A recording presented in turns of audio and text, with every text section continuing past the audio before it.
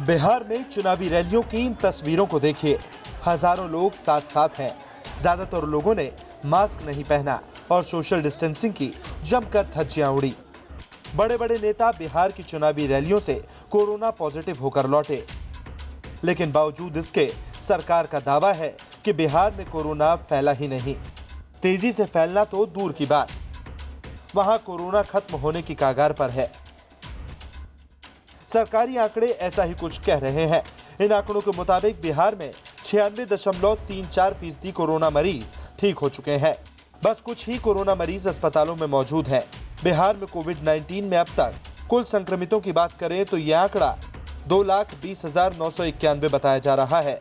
स्वास्थ्य विभाग की जानकारी के मुताबिक राज्य में पिछले एक सप्ताह से स्वस्थ होने की दर चौरानवे फ़ीसदी से ज़्यादा रही है।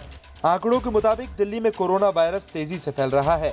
दिल्ली में कोरोना संक्रमितों का आंकड़ा चार लाख चौबीस हज़ार पहुँच गया है।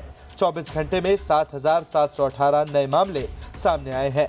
दिल्ली की बात करें तो स्वास्थ्य विभाग की तरफ़ से जारी बुलेटिन के मुताबिक त्योहार के मौसम और बढ़ते प्रदूषण के बीच संक्रमण दर बारह दशमलव एक नौ फ़ीसदी तक पहुँच गई है।